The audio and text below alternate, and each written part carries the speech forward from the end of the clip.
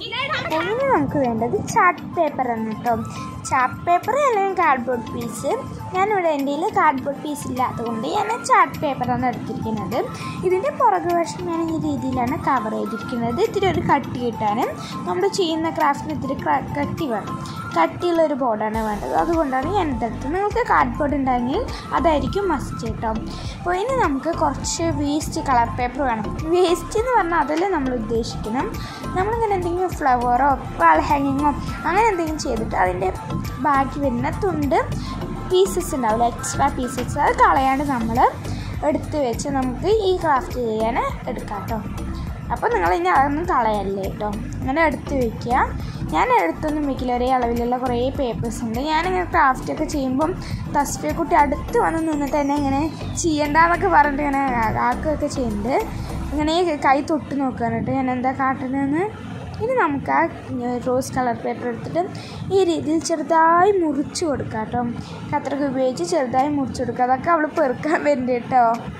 ഇങ്ങനെ അടച്ച് വെക്കുകയാണ് കൈ ഉപയോഗിച്ച്.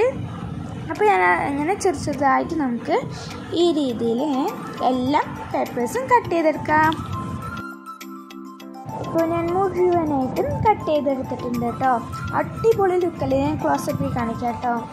ഇങ്ങനെ നമ്മളിങ്ങനെ തൊടുമ്പോൾ തന്നെ നല്ല രസമാണ്. ഇങ്ങനെ ഒരു പിരിപിരിക്കന ആ രീതിയിലാണ് കേട്ടോ. നല്ല രസമുണ്ടായിരുന്നു. ഇനി നമുക്ക് നമ്മുടെ ഈ ഒരു ബോർഡിൽ നമ്മൾ തയ്യാറാക്കി വെച്ച ഈ ചാർട്ട് പേപ്പറിൽ ജസ്റ്റ് ഒന്ന് മരം വരച്ചു കൊടുക്കാം ട്രീ അപ്പോൾ ഞാൻ എനിക്ക് അറിയും പോലെ വരച്ചു കൊടുക്കുന്നുണ്ട് എന്നിട്ട് ഞാൻ മായിച്ചിട്ട് റബ്ബർ ഉപയോഗി ഇറൈസർ ഉപയോഗിച്ച് മായിച്ചിട്ട് പിന്നെ ഒന്നും കൂടി ഞാൻ നേരാണ് വരച്ചു കൊടുക്കുന്നുണ്ട് കേട്ടോ. അപ്പോൾ അതെനിക്ക് ഇങ്ങനെ നേരാണ് ഉണ്ടാക്കാൻ കിട്ടാത്തതുകൊണ്ടാണ്. എന്നിട്ട് ഞാൻ നേരെ വരയ്ക്കുന്നുണ്ട്. പെൻസിൽ ഉപയോഗിച്ച് ആദ്യം തന്നെ ഒരു ലൈറ്റായിട്ട് വരച്ചെടുക്കുക. അല്ലെങ്കിൽ തെറ്റും. ലൈറ്റായിട്ടൊന്ന് അതിന്റേതായിട്ട് അളവിൽ നമുക്കൊന്ന് ജസ്റ്റ് ഒന്ന് വരച്ചു കൊടുക്കാം.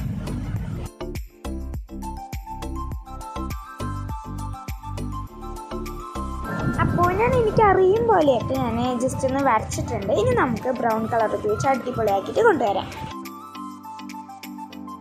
അപ്പോൾ ഞാൻ കളറൊക്കെ ചെയ്തിട്ട് അടിപൊളിയാക്കി കൊണ്ടുവന്നിട്ടുണ്ട് കേട്ടോ ഗൈസ് എനിക്ക് ഇതിൽ വരച്ചതിൽ എനിക്ക് ചെറിയൊരു തെറ്റ് പറ്റിട്ടോ ഞാനിങ്ങനെ ട്രെയിന്റെ ആ ലീഫ് പോലത്തെ കേവ് പോലത്തെ അത് വരയ്ക്കുമ്പം ഗ്രീൻ കളറും കൊണ്ടാണ് വരയ്ക്കേണ്ടത്. ഞാൻ എന്തൊരു ഓർമ്മയിൽ ബ്രൗൺ കളറും കൊണ്ട് തന്നെ വരച്ചു കിട്ടും. അത് നിങ്ങളതൊന്ന് ശ്രദ്ധിക്കാം ഇനി നമുക്കത് നമ്മുടെ ആ ട്രീന്റെ ഇതിൽ ഗ്ലൂ അപ്ലൈ ചെയ്ത ശേഷം അതിലേക്ക് നമ്മുടെ ഈ കട്ട് ചെയ്ത പീസസൊക്കെ ഒന്ന് ഇട്ട് കൊടുക്കാം കേട്ടോ. അങ്ങനെ മുഴുവനായിട്ട് നമ്മുടെ അതിൽ ചെയ്ത് കൊടുക്കണം. എന്നാലും അടിപൊളി ലുക്ക് ഉണ്ടാവുള്ളൂ കേട്ടോ. പിന്നെ നമ്മുടെ ഈ പീസസ് കുറച്ച് ഇട്ട് കൊടുക്കുക. എന്നിട്ട് ജസ്റ്റ് ഒന്ന് തട്ടി കൊടുക്കുക. എന്നിട്ട് പിന്നെ അതിനെ ഇട്ട് കൊടുക്കുക. അങ്ങനെ അത് മുഴുവനായിട്ട് ഫില്ലാക്കി എടുക്കണം. പിന്നെ നമ്മുടെ ഒട്ടാത്ത ഭാഗത്ത് ജസ്റ്റ് ഒന്ന് ഒട്ടിച്ചെടുക്കണം കേട്ടോ. അതിനുശേഷം നമ്മുടെ അങ്ങനെ നമ്മൾ ലൈൻ വരച്ചതിന്റെ പുറത്തേക്ക് ഇങ്ങനെ നിൽക്കുന്ന ഭാഗമൊക്കെ പീസസ് ഒക്കെ നിൽക്കുമല്ലോ അപ്പോൾ അതൊക്കെ ഒന്ന് ജസ്റ്റ് ഒന്ന് പെൻസിലിന്റെ ബാക്ക് സൈഡ് ഉപയോഗിച്ച് ഉള്ളിക്ക് ആക്കി കൊടുക്കുക. അതൊരു ബോറായി കാണാതിരിക്കാനാണ് കേട്ടോ അങ്ങനെ ചെയ്യുന്നത്. പിന്നെ അതിൽ ഒട്ടാത്ത ചെറിയ ചെറിയ പീസസ് ഒക്കെ ഉണ്ടെങ്കിൽ അതൊക്കെ ജസ്റ്റ് ഒന്ന് ഒട്ടിച്ച് കൊടുക്കുക.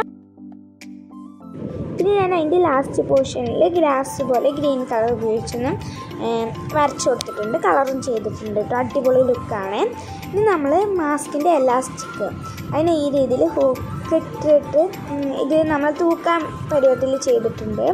അത് നമ്മുടെ ബാക്ക് സൈഡിൽ നമുക്കിത് വാൾ ഹാങ്ങിങ് തൂക്കിയിട്ടുണ്ട്. അതിനായിട്ട് ജസ്റ്റ് ഒന്ന് ഗ്ലൂ ഉപയോഗിച്ച് ഒട്ടിച്ചു കൊടുക്കുക. ഇത്തിരി സ്ട്രോങ് ആവാൻ ഞാൻ ഇൻസുലേഷൻ ടാപ്പ് ഉപയോഗിച്ചും കൂടി ഒട്ടിച്ചു കൊടുത്തിട്ടുണ്ട് കേട്ടോ ഇപ്പോൾ കാണാൻ അട്ടർ ലുക്കാണ് കേട്ടോ